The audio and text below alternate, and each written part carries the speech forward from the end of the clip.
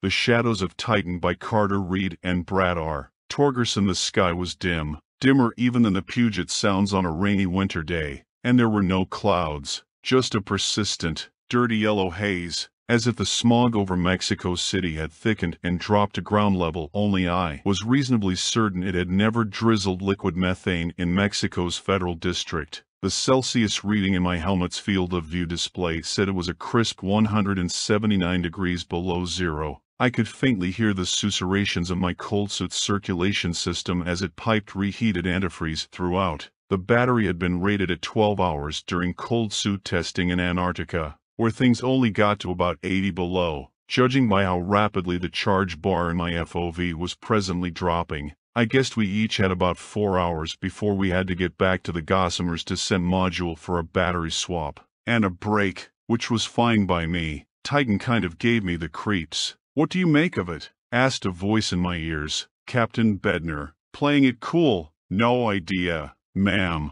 I said honestly, clad in a cold suit built for a woman's physique. Bedner's arm was pointing at the four-story tall pyramid that thrust out of the heaped ice of Titan's surface. We'd seen the artifact on accident as we'd come into land. It didn't show up on Doppler or infrared, and it had been too small to be seen from orbit. A chance look out a porthole had done the trick. It had taken us 10 minutes in a rover to get here from the designated landing coordinates. That the pyramid was not a natural landform had long since become obvious. Its sides were smooth and black like obsidian, and the drops of methane that precipitated out of the nitrogen atmosphere immediately ran down the pyramid's sides like it was coated in non-stick Teflon. But who had put the pyramid here, and why, and for what purpose, were complete mysteries. Captain Bedner's arm slowly dropped to her side. I looked at her as she continued looking at the artifact. The expression on her face, as seen through her helmet's clear face shield, was almost greedy with anticipation.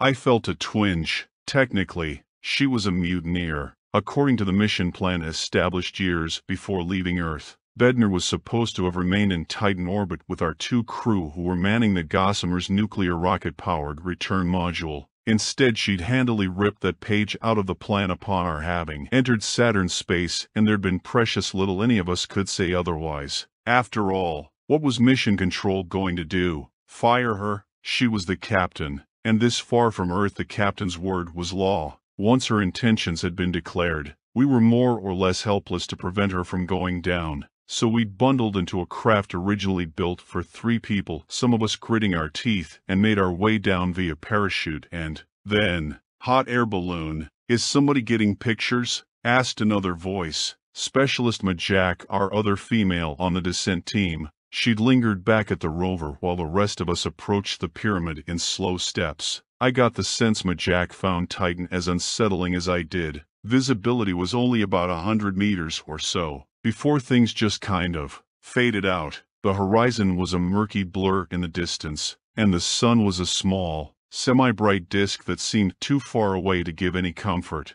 Specialist Kendallson cursed and remembered his media recorder dangling from a cord attached to his torso. All of the cold suits had digital cameras integrated into their helmets, recording every second of our time on the surface. But Kendallson had the high-res device that would get the good stuff our bosses back on Earth would want to see. No flash bulb necessary. The device had been designed to compensate for Titan's perpetual low-light conditions. Kendallson held it at waist level and began a slow, steady reconnaissance around the pyramid proper. Excited jabbering from pilot Ghibli and engineer Gaines above told me that they were getting the recorder feed being beamed to the rover, then back to the descent module, then up to the return module. Historic. Bedner said to no one in particular. That's what you wanted, right? I said. Captain Bedner glared at me for a moment. Then she went back to staring at the artifact. They'll be talking about this discovery for decades, she said. Maybe even centuries. Nothing else like it in over 100 years of probes and landings, and it was just dumb luck that we happened to pass over it as we floated down. What are the odds, Chief? Million to one, I said, and meant it. I too was feeling more than a little impressed by the fact that if our landing zone had been even a few kilometers further in any direction, we'd have missed the pyramid completely. There's something on the south side, Kendallson said with obvious excitement. What is it? Bednar demanded. I might be wrong, but it looks like a door. Majak, Bednar and I all hop-trotted in the relatively weak gravity, our path taking us around the way Kendallson had gone until we too could see what he was talking about. And sure enough, it had the looks of a door, albeit buried halfway beneath the icy surface. I walked up to it and ran my suited hand along the door's edges. I couldn't tell if the material of the pyramid was hot or cold. My cold suit's fingertip sensors didn't seem to register a temperature at all. When I spotted the small circle in the middle and tapped it reflexively with a fist, I didn't actually expect anything to happen. I fell back into the crumbled slush at Captain Bedner's feet as the door rapidly slid up and out of the way, and a ramp lowered into the black bowels of the pyramid.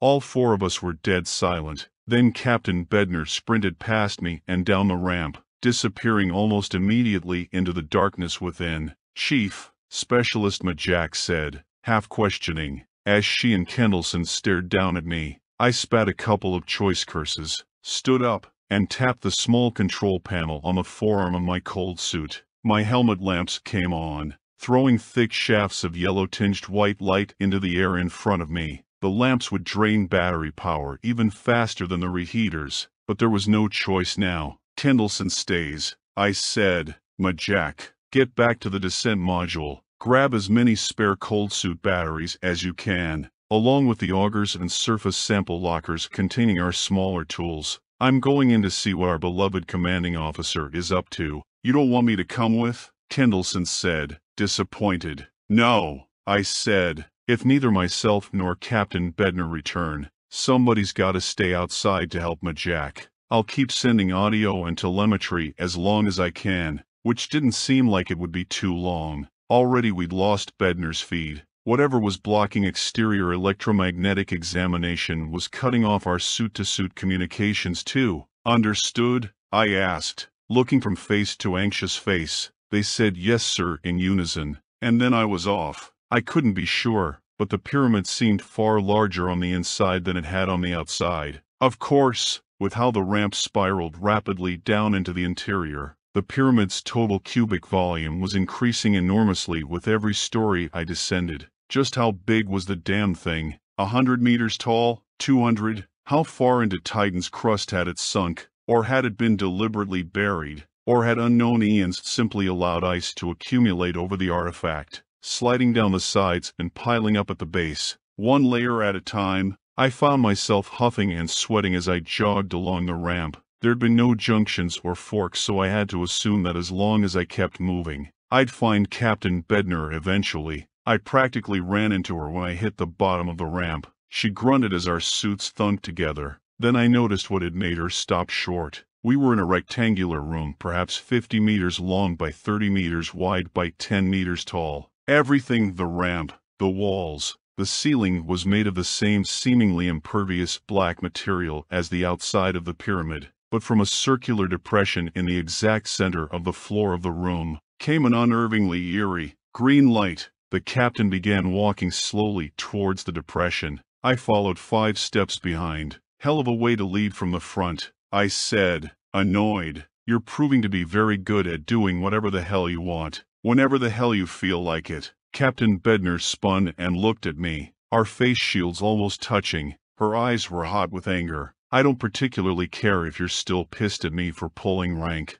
You're not the one who got passed over for the Europa flight because you wouldn't polish the assistant mission director's knob. I had to bust my ass to find a way to work around that lovely little problem. And once I got posted to the Titan flight I knew in my bones there was no way anybody was keeping me from coming down to the surface. You broke the rules, I said, matter of fact. Chief, don't be dense. Who cares about the rules now? Look at what we found. This is it. This is the proof we've been searching for. Ever since the dawn of the space age, no humans built this place. No humans even knew this place existed until now. Whatever it is, whatever it's meant to tell us is going to be of enormous impact back home. This changes everything. We aren't alone. In fact, we were never alone. Ever. How long has this pyramid been here? How long has it been waiting for us to find it? You make it sound like the thing's a message in a bottle. I said, isn't it, Chief? Why build a thing with a doorway sized more or less accurately for humans? Why create a passageway sized more or less accurately for humans? Why construct something that's deliberately stealth-guarded against sensors, and cloaked from above by the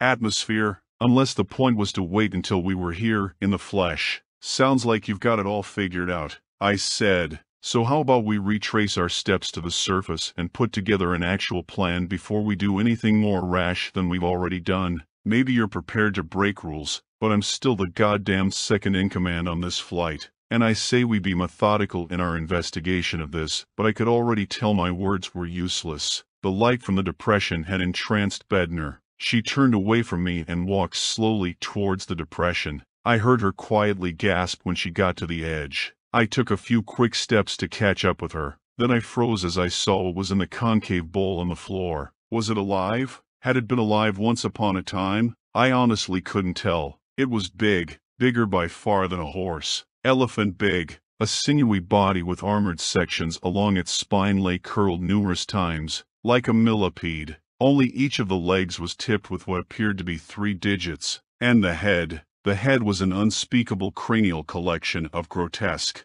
melon-like lobes interspersed with darker-colored fontanelles and punctuated with six oversized, albino pink eyes each wide open and seemingly staring at nothing. A mouth-like orifice was in the center of the head, studded with viciously sharp teeth, and disgorging three snake-like tongues that hung lifelessly to the floor of the depression. The bull glowed, if ever so softly, like a weak chem light. Christ, what a horror, I said, resisting the urge to put my hand up to my face. Getting sick in my cold suit helmet at this particular juncture wasn't a good idea. Horror, Bedner said. I think it's breathtaking. A breathtaking horror, I said, Captain Bedner turned to look at me, her expression most disapproving. Then she turned back to the creature. A pet, I guessed, or the architect herself, Bedner corrected.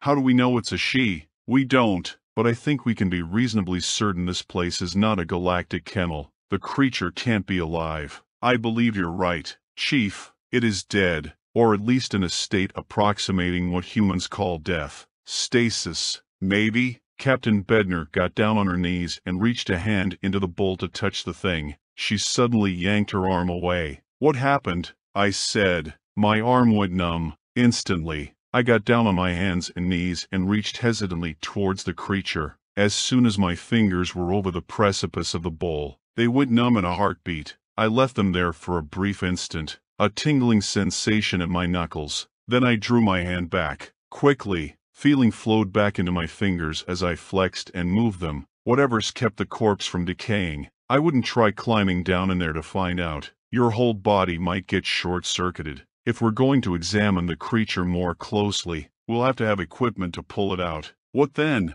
She asked. I won't be surprised if it blinks and jumps up after us. Roaring for blood. Silly. She said. Yeah, maybe. But tell me honestly, that thing doesn't make your skin crawl? I certainly wouldn't want to see it revived, though I wager you can add a Nobel to your name once the biologists back on Earth carve this thing up. The first extraterrestrial life form ever discovered, and it looks practically as brand new as the day it croaked. I wonder if it laid any nasty eggs in here for us to find. You know, like they always show in the movies, I hardly think this race would have gone to all the trouble of constructing this place if their only goal was to entice us here for the purpose of impregnating or eating us. An alien civilization capable of traveling the stars is doubtless well advanced beyond our own. Their purposes are probably well advanced beyond ours as well. Imagine cave dwellers encountering the mummy of an astronaut in his capsule. They'd be baffled too. Maybe so, Captain,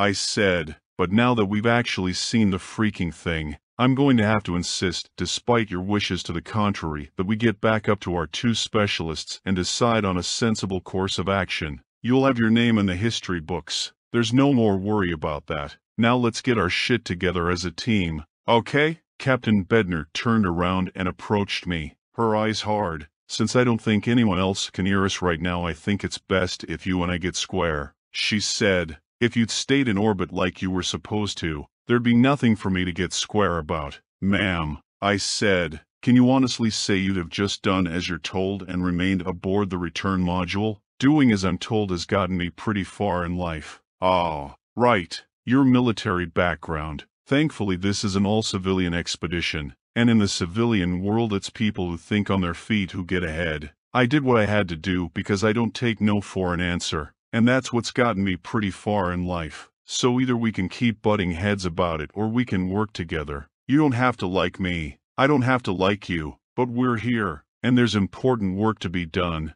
I considered telling her where to stuff it, but held my tongue. She had a point. The only way back to orbit was aboard the ascent module attached to the top of the descent module. It was a one-way trip. We all came down as a unit and we all go up as a unit. No exceptions with the pyramid having been discovered and now this alien corpse on our hands, it was probable we'd push our reserves to the limit getting samples and recording data. And even I didn't want to spend the next couple of weeks engaged in a cold war with my boss. Okay, I said, you've got me on points, but I want you to know I think it was a damned selfish thing you did. Breaking protocol for your own ends. You might have a PhD. You might be smarter than me, but you've got a ton to learn about real leadership. Right now nobody on this mission trusts you. Not anymore. Because you've proven you're willing to put your own interests ahead of theirs. She wanted to retort. I could see it in her eyes. But she didn't. All she did was let out a long,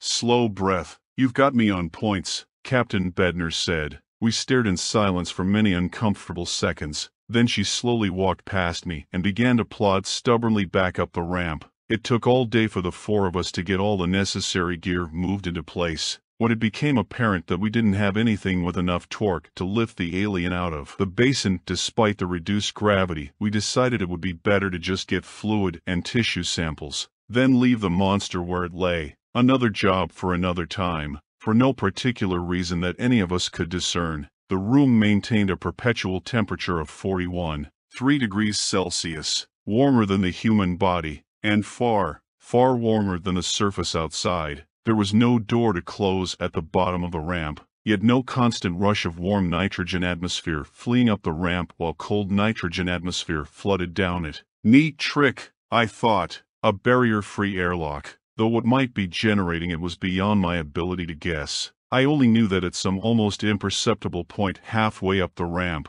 things got very cold very fast. Kendallson took hours of pictures and video footage while Majak rigged a scalpel on the end of a telescoping pole, along with an four feed that would draw blood out of the beast, assuming it even had blood in the first place. I helped Majak balance the cutting tool, a bit like using a bridge with a pool cue. One by one we carved out little hunks of the alien and deposited them into specimen bags which were sealed tightly and labeled by Bedner, who was keeping a fastidious catalogue. Interesting thing, none of the wounds oozed even a single drop of liquid, but as soon as we took some of the meteor samples out of the mystery numb zone surrounding the bowl, the pieces bled like crazy. I can't wait to get these under a microscope. Bednar exclaimed as Majak and I turned our attention to the thick-gauge hypodermic needle on the end of the second pole. Kendallson stood by with the 10-liter collapsing container while Bednar scrutinized the various places we already excavated looking for exposed veins or arteries. There, she finally said, her finger aimed at a particularly engorged vessel running along the underside of one of the eyelids. Majak was slow and deliberate, seeing as how there wasn't much chance of the subject running away. She pushed the hypodermic into the creature's flesh, adjusting her trajectory a bit so that the shaft of the needle slid into the vein, as opposed to puncturing through into the tissue beyond. The fore tube remained conspicuously empty. We'll have to siphon, I said. Kendallson unplugged the tube and crushed the plastic container back down to its flat shape, then reattached the tube and began to pull the container open again by its handles. The pressure differential wasn't enough at first, but as Kendallson pulled harder a thick stream of fluid issued into the fore tube through the needle, and eventually into the bag. We all stood and watched transfixed as Kendallson kept pulling and the container kept filling. Probably enough, I said when we had a couple of liters. No, Bednar said. Get as much as you can. Every university on Earth is going to want its own sample for study. The more blood we take back with us the better. Whatever you say, ma'am, I said, and did not argue the point further. When Kendallson had extracted enough liquid to fill his container to four-fifths capacity, he put a pincher on the fore tube and uncoupled it from the container's mouth, screwing an airtight cap into place before carefully hefting the container over to a small, wheeled sled that we'd brought down from the rover. On it were all of the samples arranged according to Bedner's ad hoc categorization scheme. Want more? I said to the captain. Maybe. If I am not satisfied after taking a closer look, let's get all of this back to the descent module for safekeeping. What about the rest of the structure? I asked. It's not going anywhere, she said, and neither is our alien friend here. There will be time to do a more thorough examination of the hardware once I've sent a full preliminary report back to the return module for transmission to Earth. Thus far we've not disclosed anything specific to mission control. That's going to have to change, or they're going to begin getting nervous. Truth be told, I wasn't exactly sure what else it was I could be looking for. I'd already given the room at the bottom of the ramp a thorough examination, and had found no other doors leading to any other parts of the pyramid. There were no obvious display panels or control boards or knobs or switches of any kind, and when I ordered Kendallson to apply a cutting torch to one of the walls, it didn't even leave a scratch. I had begun to wonder if perhaps the alien pyramid wasn't just an analog of Earth's ancient pyramids, a tomb, perhaps for some bygone alien ruler who decided he wanted his final resting place to be in orbit around Jupiter. Not a bad choice, I thought, assuming you could see Jupiter's rings through the murk in the atmosphere. Maybe the nitrogen air had been cleaner at some point in the past, unable to break off or obtain even a sliver of the pyramid's structural material. I hope that a carbon dating analysis of some of the alien's tissue would be able to give us an accurate estimate as to how old the thing might be. We gathered up what tools we needed to take back with us on the rover, snapped off the tripod lamps which had been giving us enough light to work by, and went back up the ramp, pushing our sled full of samples as we went. An insulated lid over the top of the sled kept the samples more or less at their ambient temperature as we crossed into the cold. A thick power cable wound its way along the side of the ramp like a piece of familiar string in a strange and forbidding maze. The cable took us unerringly to the top, and the open sky. I dutifully uncoupled it from the auxiliary power jack on the side of the rover, then helped Kendallson and Majak get the sample sled into the rover's cargo bay. Then I took shotgun as Captain Bednar slid into the driver's station, with Majak and Kendallson pulling rumble seat. We rolled in relative silence. If the first half of the day had been a cacophony of excited speculation and chattered hypotheses, the second half had slowly wound down to just occasional sentences and practical exchanges. The mood was tense, not the sort of overt tension that snaps tempers, but a very subtle tension that underlay mildly creased brows and put little downturns on the corners of every mouth. It was the place, I decided, Titan, gloomy as Hades, like being stuck perpetually in the shadow of a range of pregnant thunder clouds. The headlights of the rover lanced into the yellow haze as Bedner followed the mild ruts which had been worn in the ice over successive trips. We knew from experience we wouldn't actually see the descent stage of the Gossamer until we were practically on top of it. Upon arrival we gingerly got the sample sled up the descent stage's main ramp and into the airlock. Then Kendallson, Majak and myself went to climb the ladder up to the auxiliary airlock. We'd not be exposing any of the samples to our living space. There was no defined protocol for handling xenobiological specimens, but even Captain Bedner wasn't going to take chances. We'd leave them in the main airlock where they could be kept quarantined. Once Bedner was through with her examination we'd move the samples to one of the outboard cargo pods on the ascent stage. If they froze in there it wouldn't matter. They'd have to be frozen sooner or later for the long trip back to Earth. We quickly moved some of the portable science equipment from the descent stage's lockers over to the main ramp, where Bedner carried it all up piece by delicate piece. Once she was satisfied she had everything, we all went back to the auxiliary airlock and went inside for the night, quite exhausted. After dinner and a quick check-in with the Gossamer's return module, we retired. After months in microgravity it felt good to lapse into the deep sleep afforded by a day of manual labor.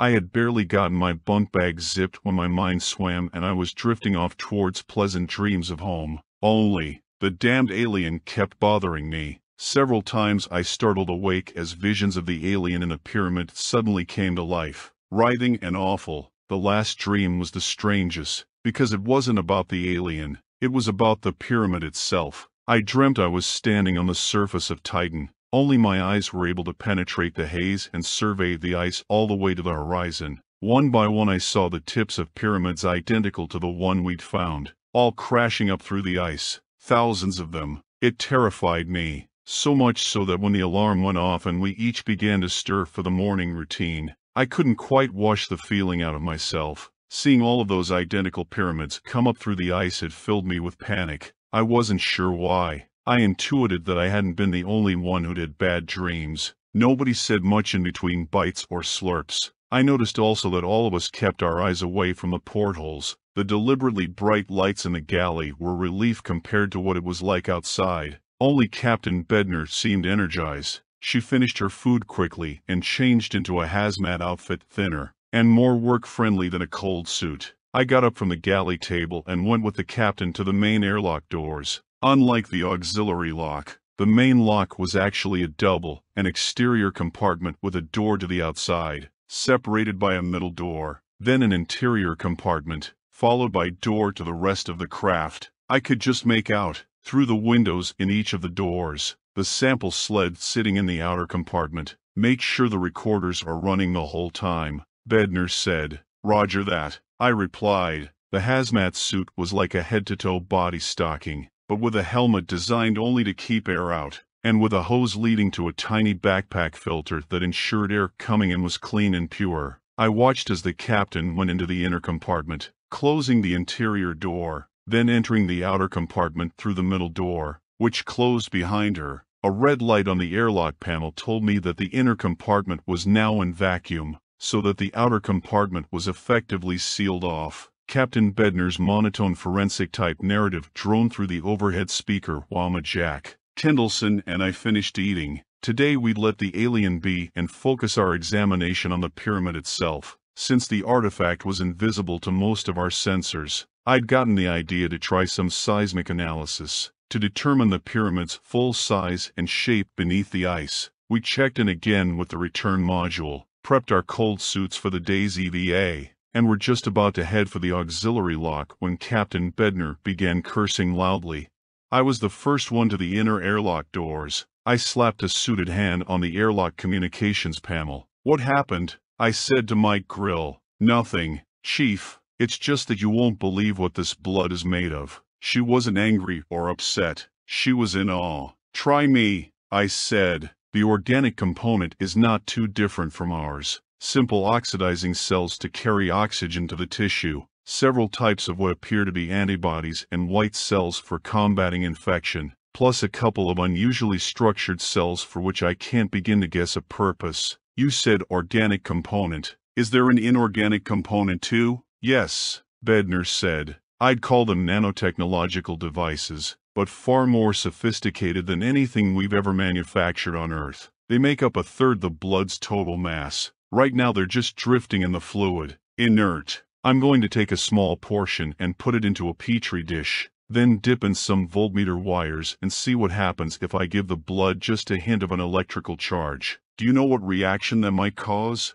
I said, no, but that's the point. If I had to guess, these nanomachines have been without a power source for centuries, maybe longer. I want to see what happens if I supply them with energy then observe their behavior under the microscope, to see if I can determine their function. I was tempted to tell her that caution was the better part of valor, but decided to keep my lips zipped. I wasn't a degreed scientist. I'd been brought along for my spaceflight experience, two landings on Mercury, and one flight to the asteroid belt. As long as Bednar wasn't doing anything deliberately dangerous to the ship or the crew, she was more than welcome to exhaust her curiosity. I tapped the airlock communication panel again and asked Captain Bedner if we should leave someone behind to keep an eye on things. Her rejection of that idea was brusque and distracted. I grunted, switched off, and Majak, Kendallson and me went out the auxiliary airlock and down to the rover. Majak checked the rover's fuel cell condition while I started the pre-drive warm-up.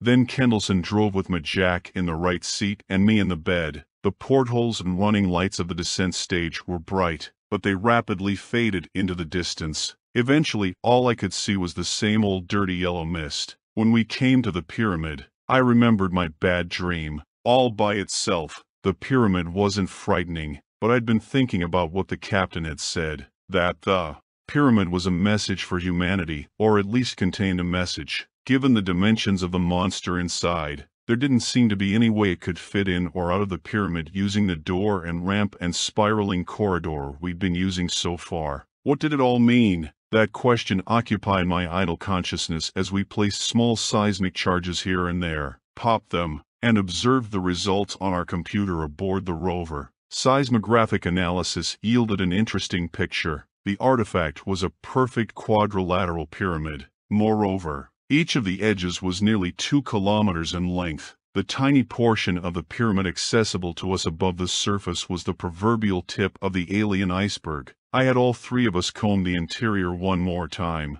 yet still we found no hint of any way to explore the rest of the artifact from inside. Perhaps there were other exterior doors further down the pyramid's faces, doors we couldn't access without a serious excavation project, for which we were ill-equipped. After all, the alien had gotten in and out at some point, hadn't it? With all of us yawning and eager for dinner, I ordered us back into the rover. When we returned to the descent module all seemed as it should. The portholes glowed cheerfully, welcoming us home. Captain Bednar greeted us at the inner door to the auxiliary airlock. The hazmat was off. She was wearing her flight suit, and a serious expression. Any answers? was all the captain said. Yes and no, I replied. I'll show you the data once you and I can sit down. How about you? After we eat we can combine our findings and put together an official presentation for mission control. I took care of that already, Bednar said. Oh, I raised an eyebrow. Don't you think it's a good idea to be a little more comprehensive? I know the alien corpse is the key item of discovery so far, but I thought it would be best if we mission control has been fully apprised of the situation.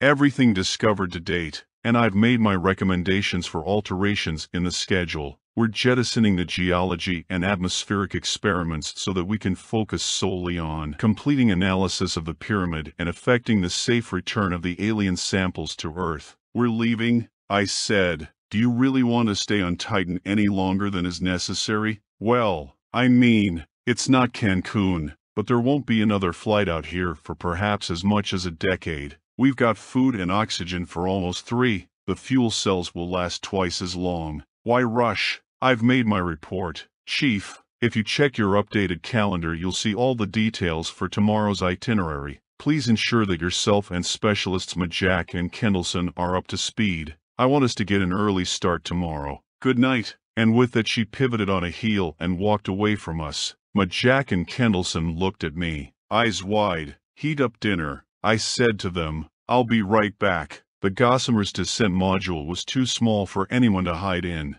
but the galley and the sleeping compartment and the latrine and all the other sections had been walled off from each other, both in case of emergency decompression, and also to give us the illusion of privacy. I caught up with Captain Bedner in the single-bed closet that more or less served as our medical bay. I closed the door behind us. They'll never let you set foot on another flight again, I said sternly. Oh, was all she said. The arm of her flight suit was rolled up and she was applying tape to a patch of cotton bandage on the inside of her right forearm.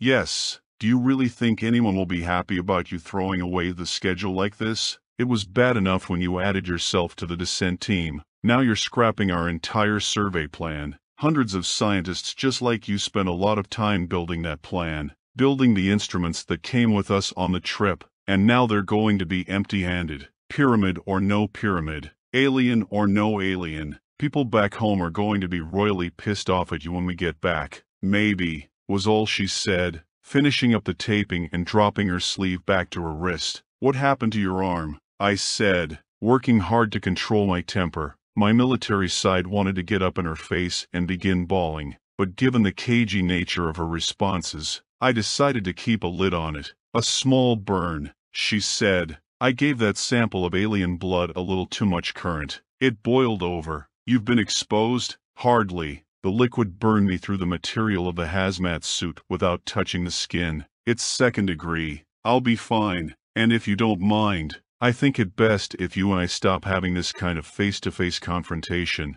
It's not going to reflect well on my final mission brief when we return. I might not be the only one who can't get on any more flights. Ordinarily I hated the idea of hitting a woman, but standing there in the medical bay, I was seriously tempted to make an exception. You're a real piece of work, ma'am, I said. all through train up and all the way out here after launch. You seem like a team player, the kind of person I could work with. Now the scales have fallen and I'm seeing that you're just an opportunist. So don't you worry, I'll make sure we wrap things up and climb back into orbit without a scratch. We'll be home before you know it. Then I don't want to ever see you again. Is that clear? You can't possibly understand how much things have already started to change. She said, It's okay, there will be a use for you when the ramifications of the alien discovery become clear. What the hell is that supposed to mean? Please check your calendar. Execute your assignment. That is my order. Understand? Her eyes drifted to my fists which had balled furiously at my sides. Then she looked back up at my face, saying nothing,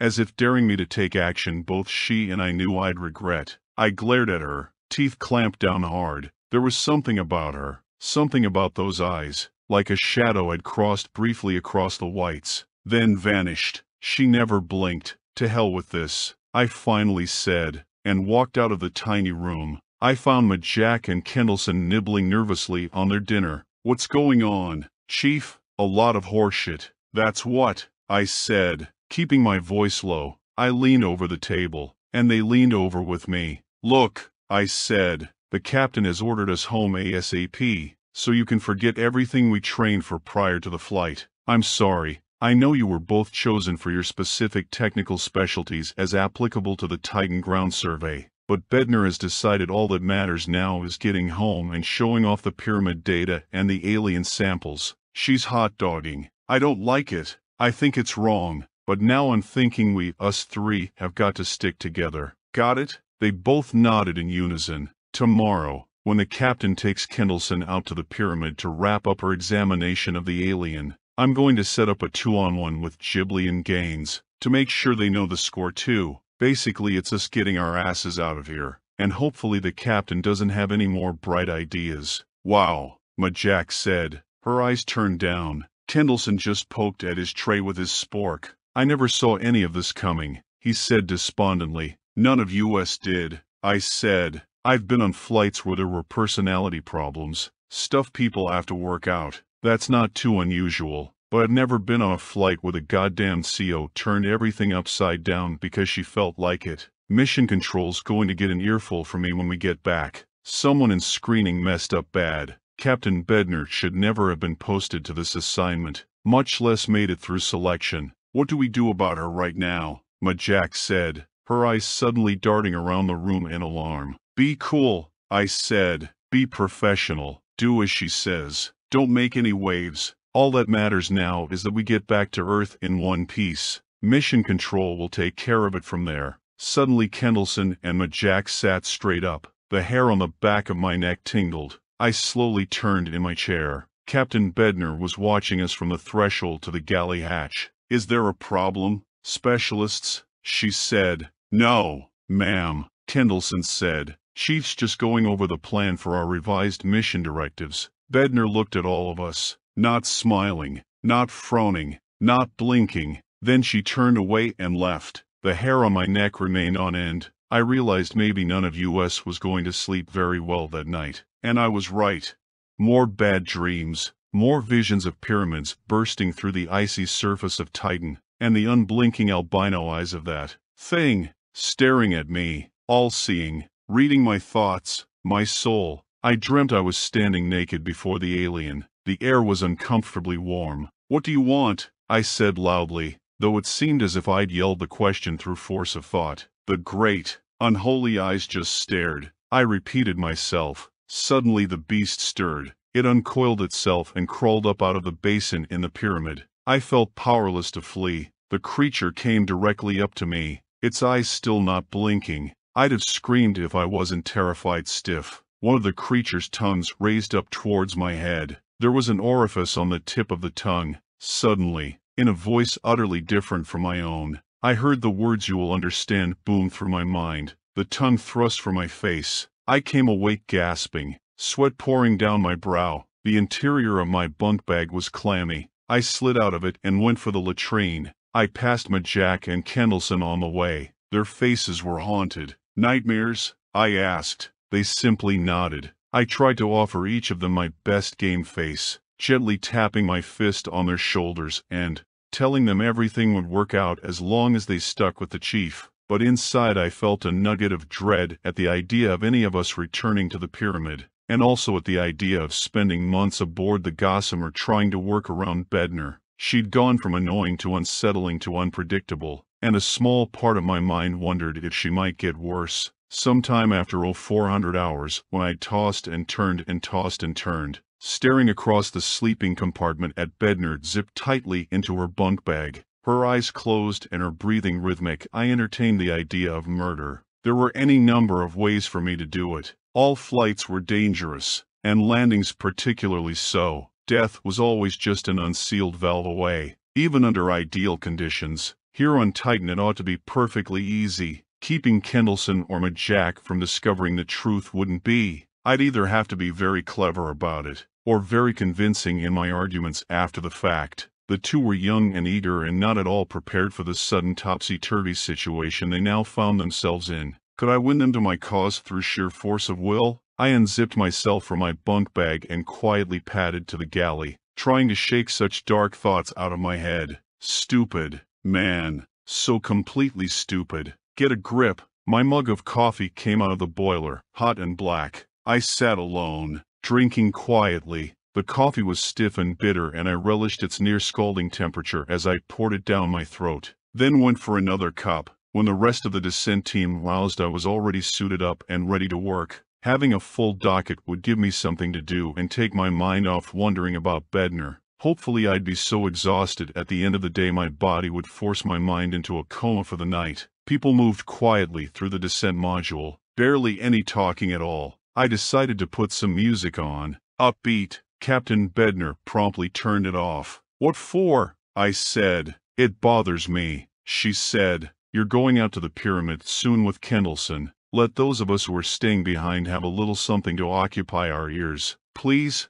Bednar stared at me. I thought I saw that same shadow I'd seen the day before cross briefly over her eyes, but she didn't say no. So I turned the music up loud, and for a couple of hours Majak and I actually forgot about the captain and our bad dreams as we immersed ourselves in making ready to leave Titan. Many, many checklists to plow through, here and there, adjustments to a pieces of equipment. There was the comfort of familiarity, of practiced routine, whatever the pyramid might be. The gossamer was a human thing made by human hands, tangible and reassuring, I caught myself patting the bulkheads of the ship the way a man pats the side of a horse he's about to ride. My mood didn't falter until it was time to load the alien samples. I reluctantly switched the music off, figuring there was no way around an unpleasant shore other than to just plow through it. I put on a cold suit and went to work. I went out the auxiliary lock and up the main ramp, then in through the exterior door to the main lock. All of the samples had frozen overnight, I carefully loaded them in bunches into a small backpack, then took them up to the ascent module using the exterior ladder. At the top I placed them in cushioned bundles into their designated external cargo pod. Per the captain's instructions, the hunks of tissue looked particularly alien in the mustard-filtered light of Titan's day. It occurred to me then that I'd not even thought to ask Bednar any further about her findings. I'd been so thoroughly gobsmacked by her hubris the evening before. When I used my cold suit's tie-in to the Descent Module's computer network to access both Bednar's brief to mission control and to check on the airlock camera footage from yesterday, I was confronted by an encryption challenge hanging in my FOV. Bednar. She'd never locked me out of any prior communication with our bosses on Earth. Keeping secrets from the XO during a flight was a hanging offense. I once again contemplated murder. I went back to the airlock and began lugging the blood container up. It was heavy, and I was so angry and distracted I almost dropped it. I called for Majak's help, so she suited up and came outside. Together we carefully carried the container up the side of the descent module and over to the open cargo pod on the ascent module, where the alien samples were arranged neatly. Chief, Majak said as we stowed the container. Wasn't there more? What do you mean? I asked. The liquid in the container had become a solid block, black as tar. There's not as much in here as there was when we brought it back from the pyramid. Captain Bedner used up some of it during her examination yesterday. I know, but did she use that much? I'd swear there's at least a liter gone from what we took originally. I stared at the container, transparent walls revealing the sludgy brick of alien blood inside. We'd never taken an exact measurement of volume.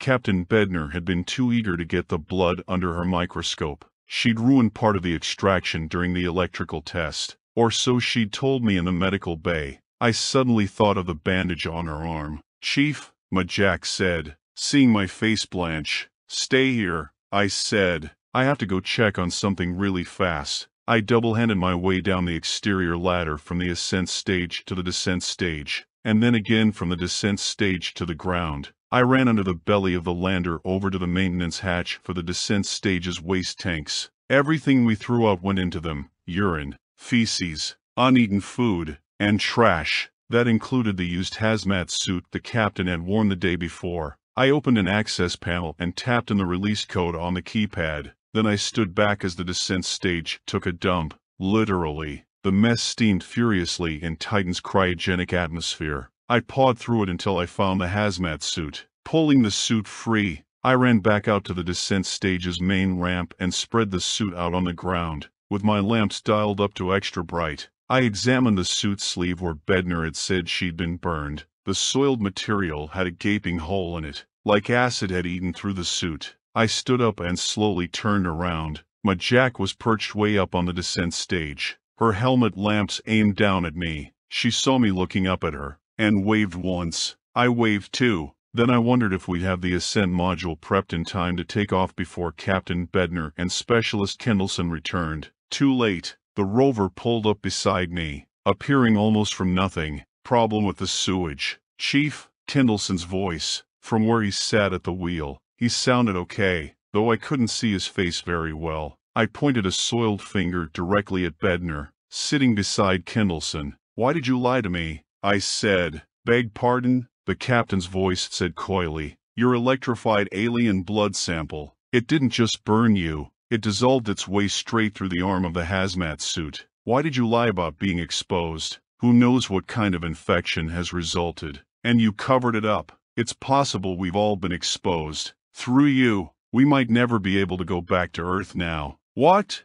Majak said sharply. Calm down, Chief, Bednar said, stepping out of the rover. I didn't want to needlessly upset anybody last night. There is no xenobiological contagion in the alien blood, not even a single virus or microbe. The nanomachines see to that. Best inoculation method ever invented. I think the nanomachines do a whole lot more. 2. Do you know how old the alien is? Chief, no, because you locked me out of your brief. Sorry about that. I should have guessed you'd be curious. Look, there's a method to my madness. Really, there is. Let's all go inside and I can explain it to you. Okay? It's probably better if you know my real angle at this point, because I need your help to finish my mission. I need everyone's help. I looked at Kendallson. It's cool, Chief. I started asking her some of the same questions. She filled me in while we closed up shop inside the pyramid. She's right. It will all make sense. I didn't move, though I could hear Majak huffing and puffing in my ears as she made her way down the ladder to the ground. Care to give me the short version? I demanded. Not here. No, Bedner said. Come on, inside. Majak rushed up to stand next to me.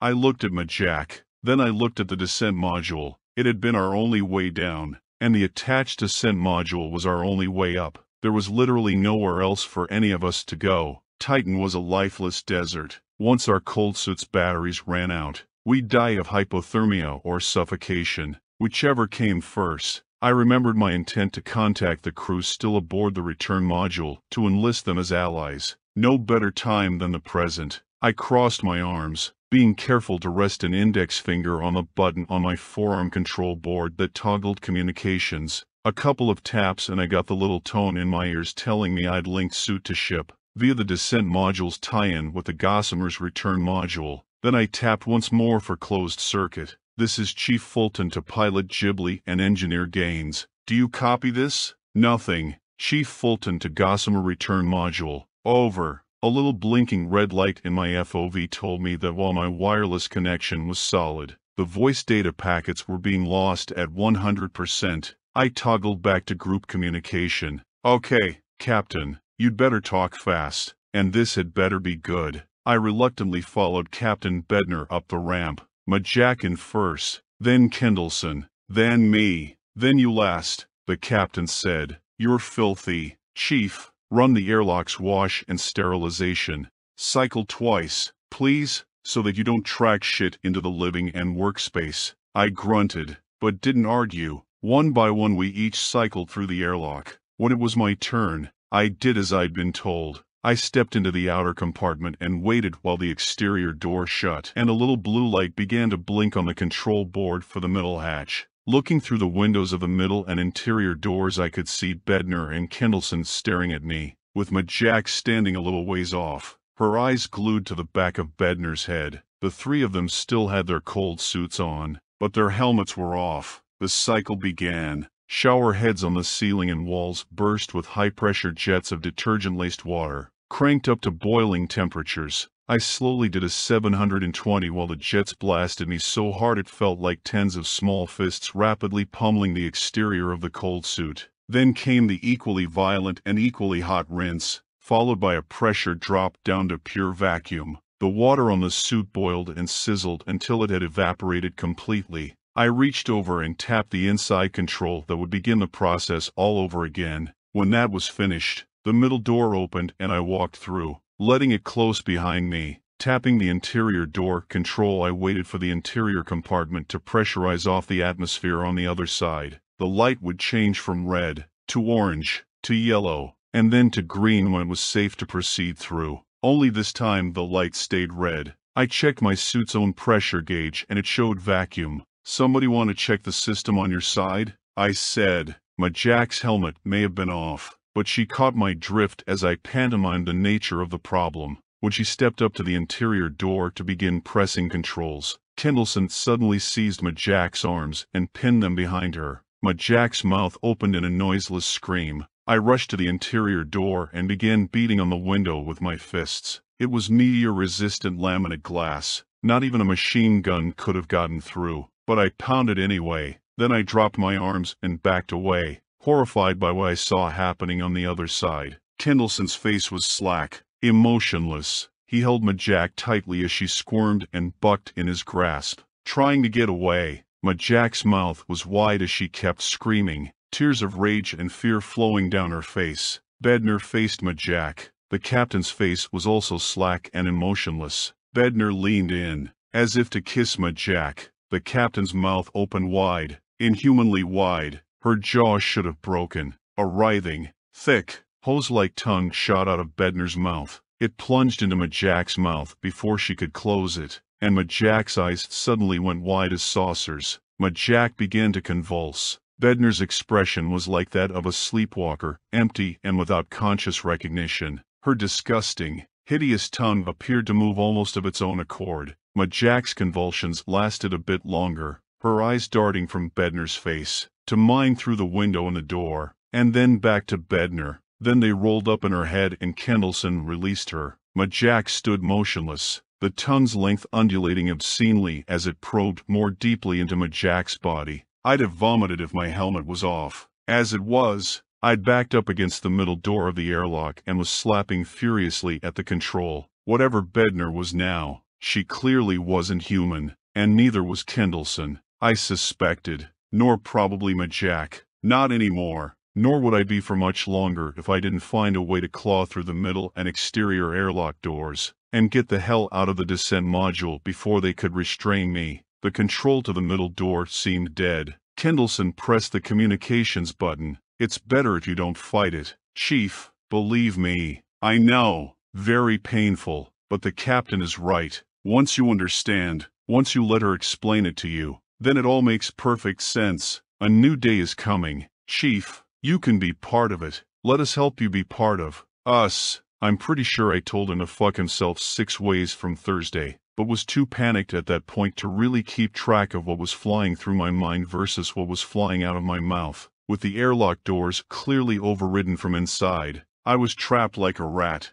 What to do? Bednar's tongue slithered out of Majak's mouth, which closed slowly. Majak continued to just stand there like a mannequin while Bedner and Kendleson turned to look at me through the window of the interior door. Blotches of gray seemed to swim across the whites of their eyes. Similar blotches had begun to swim across Majak's. Then her eyes unrolled and she slowly turned to look at me. A thick trail of bloody spittle marred her chin. She walked haltingly forward two steps. Her face was slack and she stared at me unblinkingly. She spoke, her voice, yet not her at all, you will understand. Instantly I recalled my nightmare, the bulbous albino eyes of the alien as it crawled forward, its tongue raised and then horribly striking. The light on the interior door control turned orange. They were coming for me, all three of them. I was a strong man, kept up my military regimen, but there was no way I'd be able to fend off three grown adults. And once they had my helmet off, I turned and began to viciously kick at the control for the middle door to the airlock. Stop! Bedner's voice said in my suit's helmet. I kept kicking. Sparks flew as the panel came apart. The middle door lifted halfway, and I dove under it, rolling, before it closed again. When I got to the exterior door I found its control also frozen. Instead of kicking, I reached over to the handle with black and yellow caution striping painted across it. Pulling once, I blinked as explosive bolts along the rim of the hatch fired sending smoke and flame briefly through the outer compartment. Not even looking, I charged down the ramp. The rover, the rover was all I had. I leapt into the driver's seat and engaged the accelerator without bothering with the checklist. The frame of the rover complained via vibration through the seat of my cold suit, but it began rolling as I wheeled it about and considered my options. Gossamer's descent module was now enemy territory, I glanced up at the ascent module and realized that my former teammates could simply take off and leave me behind. It only required one person to fly the ascent module, and both Bedner and Majak were rated on the design. Chief, where are you going? Bedner's voice. What do you care? I said harshly. You've got the ascent module, and a crew. You don't need me. We need everyone. The way the captain had said everyone truly freaked me out. What for? I dared to ask as I sped away from the descent module, not particularly paying attention to my direction. You're obviously not who you used to be, and you've got Majak and Kendleson now too. What's the plan, Captain Bedner? Care to enlighten me? Captain Bedner was a willing servant. We have had many such servants in the history of your species. Not all humans have heard our call. Not everyone has the inborn genetic talent to hear us. But enough. Across space, Across your millennia of time, in your distant past they built great structures, mimicking our own. At Giza, in the jungles of Central America, they entombed themselves for the sake of the visions we gave them, even sacrificed other humans in the name of those visions. Only now, as your technology matures, are you finally able to come to us, to become part of us. I kept the pedal to the metal. The trackless ice ahead was blurred by yellow mist. Who's the us you talk about? Are you under the alien's control now? By being exposed to the alien blood? What happened to you? All living creatures are merely vessels for our use, Bedner's voice said, though I was now convinced that Bedner the person was probably dead. Her mind, her soul, gone. I thought about the nanomachines she'd discovered in the alien blood. They'd taken up a third of the total volume, and she'd called them far more sophisticated than anything men had ever manufactured. Majak had speculated that a full liter of sample had been missing from the alien blood storage container. You're a cyborg parasite, I guessed. You swim through the insides of whatever you can infect, turning other life forms into puppets for your use. Not puppets, Bedner's voice said. Partners. Your Captain Bedner understood, though she did not know what drove her to us. Precisely. All her life she dreamed of the gas giant planets of your star system, especially the moons. They became her obsession, and she did not know why. Now she knows, and she is overjoyed to have finally become part of us. She will never be alone again, and neither will your specialist Kendleson, nor specialist Majak. Isn't that right? A pause. Then Majak's voice said hollowly, Yes, my change is not yet complete. It will take days. I was afraid when I first felt them entering my body, but now they are helping me. We are helping us see the truth. You should not have run away. Chief, you will die now, and you will never know what we offer. We will go to Earth and we will bring the truth to all living things. Earth will become one planet, united with one purpose, and we will come back to Titan and free all of us still trapped beneath the ice. You have seen it. Chief, you know what is coming to pass. You have the gift. It is weak in you, but once you were close enough to hear us, to see, I thought of my nightmare, pyramids rising. Suddenly I realized that the lone pyramid exposed to the atmosphere still had some value. Otherwise, the aliens would have ignored me and taken off. With the Gossamer's return module in their hands, they could go back to Earth and do as they pleased. Probably nobody would be aware of what was happening until the five Gossamer crew had infected hundreds more, and those hundreds would infect thousands, and those thousands would infect millions, who would then infect the entire world, down to the last man, woman, and child, as well as every animal that walked, swam, or flew. Earth would have no chance. Unless, I still posed some kind of threat to them. I stopped the rover and slowly looked over my shoulder into the bed. There were crates of seismic charges from the day when I'd done my subsurface survey. Singly, they were puny and couldn't hurt much, but detonated as a whole, I sat back down and floored the rover, turning 90 degrees and using the GPS signal from the Gossamer in orbit to ensure I was on course for the pyramid. Bednar may have locked me out of voice and video communication with the Gossamer's return module crew, but I still had a reliable connection to the one-way link. If I could give them a reason to leave the descent module and come after me, so why did you wait? I asked over the wireless to my three former teammates. You obviously came all this way, traveled between the stars, to find fresh partners to work with. If you've been here as long as you claim, why not just go directly to Earth and take it immediately? Humans were probably living in caves back then. It would have been no contest. Silence. Cat got your tongues? Ha! What was the problem?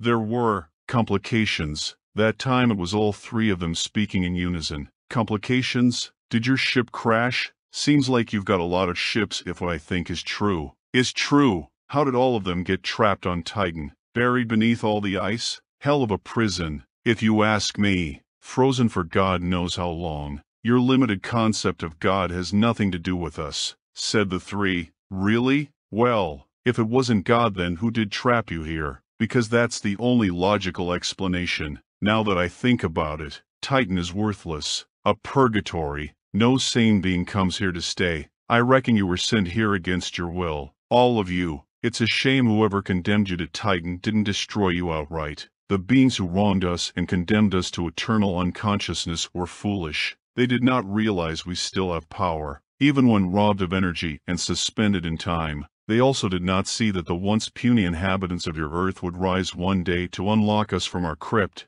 Now that we are free, your race shall become our chariot. We shall use it to burn a trail of fire across the heavens. We shall have our revenge. Three humans, shouting as one, angrily, and with bloodlust. I felt a raw chill run down my spine. Whatever was powerful enough to put down the aliens once, would be powerful enough to put down the aliens again, and this time it would be all the Earth put down with them. Could such a super race exist? I imagine that if it were up to me to do the job, and I had a whole star system infected with the nanocyborgs, I'd figure out a way to make the home star blow up and sterilize everything out to the Oort cloud. Or worse, though what worse might look like, I willed myself onward, toward the pyramid. Well, you can't have your revenge just yet, I said. There's still one human on Titan with the will to fight back, so if you can afford to leave me to do my worst, by all means, take off. But if you can't afford to leave me, you'll have to come out here and get me before I do something you'll all regret. There was no response that time, just the telltale clicking of the wireless signal dropping out in my helmet speakers. I had them, but what I'd do about it, I wasn't yet sure. First change I noticed as I hit the bottom of the ramp was that the air was oxygenated. The little atmosphere icon in my FOV was blinking green as I came to a stop. Towing the sled full of seismic charges behind me made sense. How else could Bednar have coaxed Kendallson into taking his helmet off, though how the pyramid had produced the oxygen, or what controls had been used, still wasn't obvious. I kept my helmet on as I towed the sled over to where the alien corpse lay. Poor bastard. As gruesome as he was, she was. It was. The creature had apparently been only a pawn. For the first time, I looked at the beast with a sense of kinship, as well as pity. Had its world been overrun and absorbed? How many such species had suffered a similar fate? I began to understand that the nanocyborgs weren't just vermin. They were about as literally evil as anything mankind had ever encountered. I wasn't a spiritual person, but the fact that they had dismissed God as if he were both real and inconsequential made me cold inside. Any race that could wave away God like that. I pushed the sled filled with charges up to the edge of the bowl where the alien host resided. I began to daisy chain the charges together and throw them into the basin, until I'd surrounded the entire alien with a halo of explosives. Thus far I'd been unable to find or make access to the rest of the pyramid, since the area beneath the alien's body was the only place I'd been unable to check. I figure it was time to find out if that was the key. I unwound the detonation line all the way back up the ramp to the waiting rover. A quick 360 scan showed no sign of anyone or anything in my immediate vicinity, so I flipped open the trigger guard on the det line's control box, took a deep breath, and depressed the big red button. A tiny vibration could be felt through the ice. After a few seconds, black, belching fumes poured from the door. I tapped on my helmet lamps and plunged back down the ramp. It was virtually impossible to see. When I reached the bottom of the ramp, the entire room was clogged with blackness. Like squid ink, I stumbled forward, hoping to see the mild green light of the depression in the floor where the alien was. Suddenly there was nothing underneath me, and I plummeted, screaming. Thankfully, but fall was not a great one. I crashed down onto a pile of loose debris. Scrambling to my feet, I scanned about me with my lamps. I guessed I'd fallen about 20 meters. Lethal in Earth gravity. Not so bad in Titans, especially with something to cushion me when I hit bottom. I thought I could identify bits and pieces of the alien host's corpse here and there on the floor. It seemed I'd broken through into a huge corridor. I took a few steps forward, and suddenly light sprang on, so bright I had to reach up and flip my helmet's and used sun visor into place. It was if the entire ceiling, save for the portion where I'd made the hole, had lit up like a bulb. Now this was more like it. I ran the way I'd first walked, until I came to another doorway similar to the one I'd first discovered on the surface the day the Gossamer's descent stage had landed. Only this door was huge, on the order of magnitude of the creature whom I'd obliterated trying to find a path into the deeper recesses of the pyramid. I jumped, pressing the small circle in the center, thus causing the door to slide open. I walked through it, then stopped short just past the threshold, a room as big as a basketball arena hundreds upon hundreds of mildly glowing basins, each with an alien cupped at its center, only they didn't all look the same as the one I'd first seen, a grotesque menagerie of different life forms, all dormant, none of them earthly in origin. I wondered if they had each come from the same home planet. I guess they were merely Nanocyborg hosts, just like the first alien, and just as Bednar, Majak, and Kendallson had become. There was a large, wide ramp leading down to the room's main floor. I began walking down the ramp, and was pummeled to my knees by a sudden, overwhelming impression of surprise and fear. One thought coalesced in my mind, but from an outside source, he is not part of U.S. He should not be here. That's right, I said, willing myself to my feet. My head hurt and my sense of balance was off, but I realized I'd found what I was searching for, real leverage to use against the enemy while bargaining on behalf of the human race. I shouldn't be here, but I am. Do you hear me? I'm a free man, the last one on Titan, and as long as I've got the power to do something you'll do what? I stopped short. A human figure in a beige robe approached me from across the room. His feet were bare and he was bald, save for a semicircle of white hair that went from the back of one ear around to the back of another. He did not smile, but he also did not frown. I watched as he approached, then stood before me. His expression was passive. Another overwhelming impression. He has awakened the sentinel. I staggered. The sensation of nausea was too much. I was going to vomit in my helmet. The figure, the sentinel, quickly reached out an arm and steadied me. The moment his fingers touched my arm, my nausea vanished and I stood upright. What are you? I asked. That is a question I should be asking you. But now that I have ascertained your being, I need not wonder any longer. I have been given your form according to your thoughts, so that I might communicate with you as something you will understand. Know this, you are trespassing. Young human, go back to where you came from. It is not safe for your kind here. Tell me something I don't know. I said, three of my kind have been infected by the prisoner 2663. Yes, I know, already. Those three infected humans have entered the upper reaches of this vessel what you think of as a pyramid. Prisoner 2663 is devious. I have been inactive for a long time.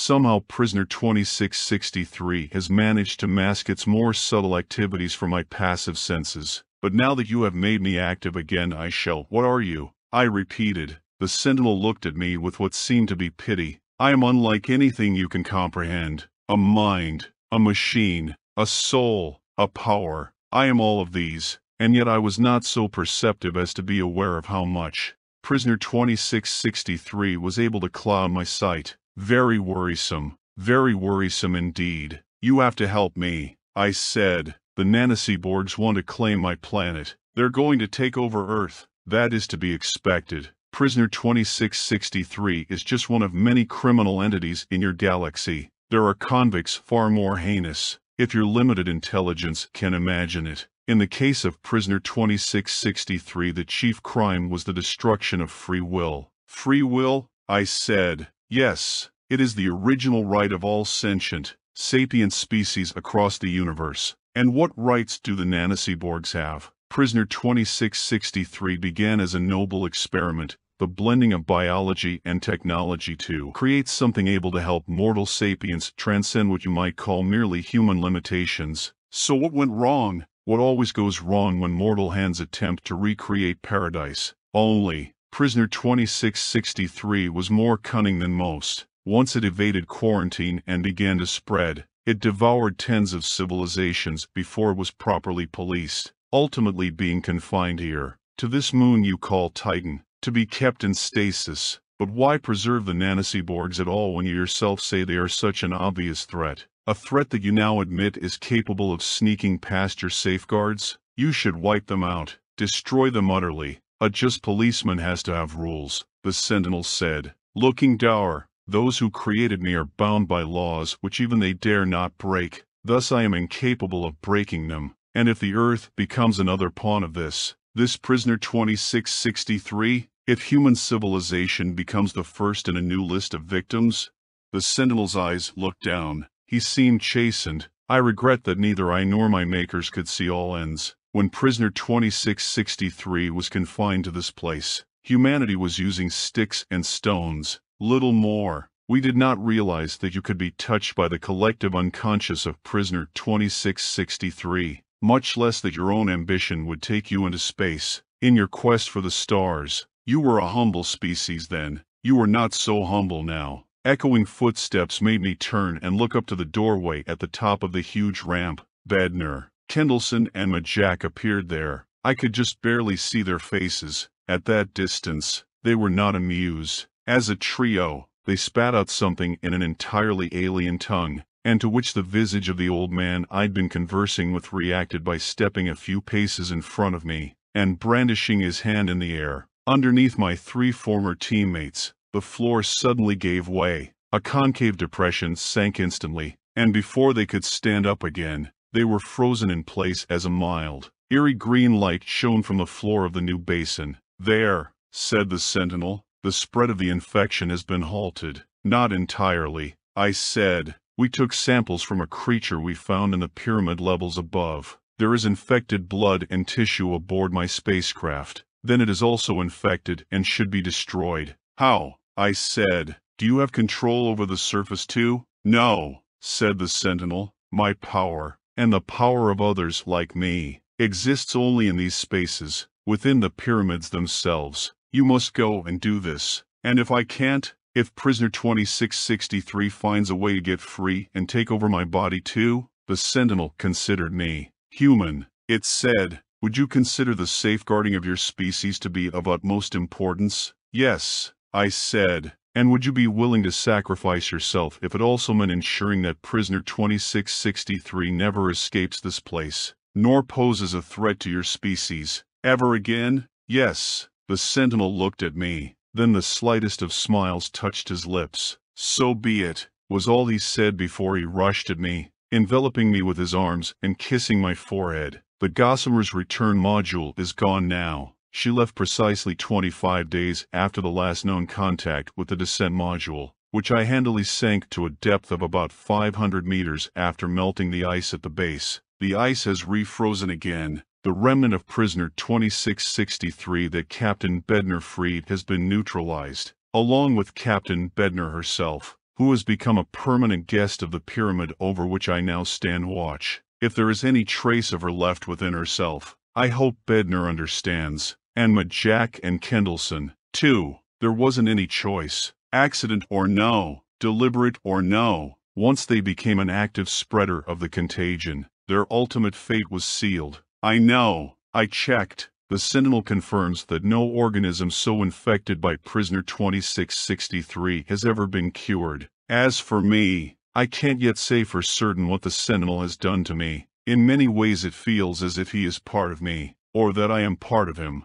I've only begun to test the limits of my power. I've spent a lot of time recording my thoughts on all that's happened, so that when men return to Titan they will find the disk. I left it in the rover, which now sits atop the ice, alone, because I resank the pyramid to a sufficient depth too, along with all the others, and there are many. The longer I can keep those pyramids out of human reach, the better. Maybe by the time mankind is capable of raising and investigating them, mankind will no longer see the need, I can't say I understand the ethos that prevents the Sentinel from destroying the Nanocyborgs. He seems very old, and very unwilling to dispense information at anything more than a trickle, for my own good. He tells me, but I suppose I've got time, enough to last for centuries, or longer, whatever it takes to keep Earth and the other uninhabited worlds of the Milky Way safe from the Nanocyborgs at least. Prisoner 2663, The Shadows of Titan.